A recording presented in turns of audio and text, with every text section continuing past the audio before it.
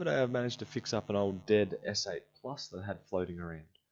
So, of course, what you do with that is you install Odin, or use Odin to install TWRP, and of course you put on a custom ROM.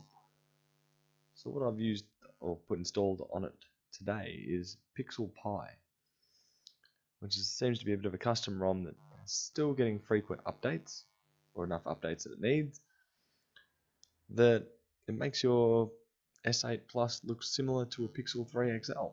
Well, that's the idea behind it.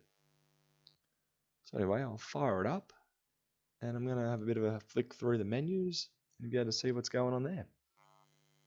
So yeah, today we'll check out the Pixel Pie ROM for the S8 Plus.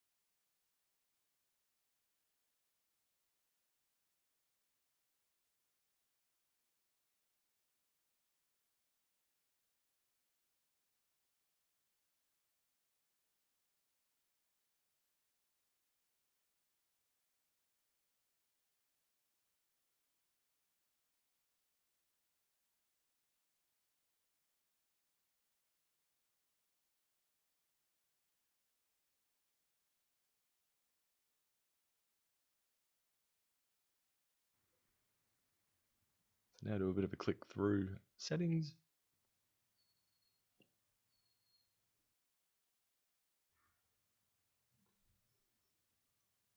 So you can do all the usual things like change the screen resolution or whatever you require. There is a little bit of lag when you press up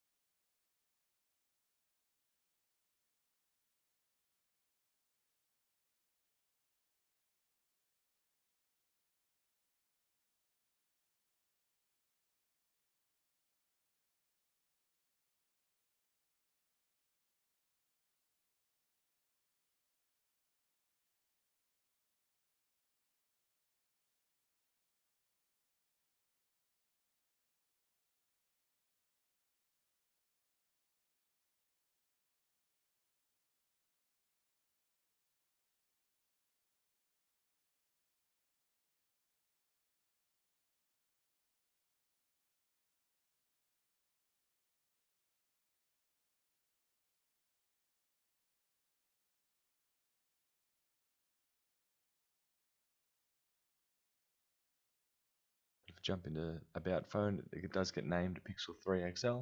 Certainly not that. I believe the security patch on this is April 2019, so relatively new.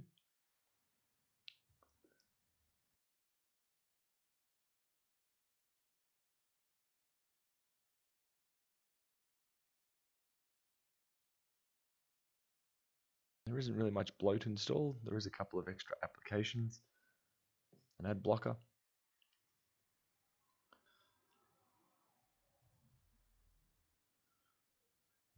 The standard camera and also I believe Gcam installed as well.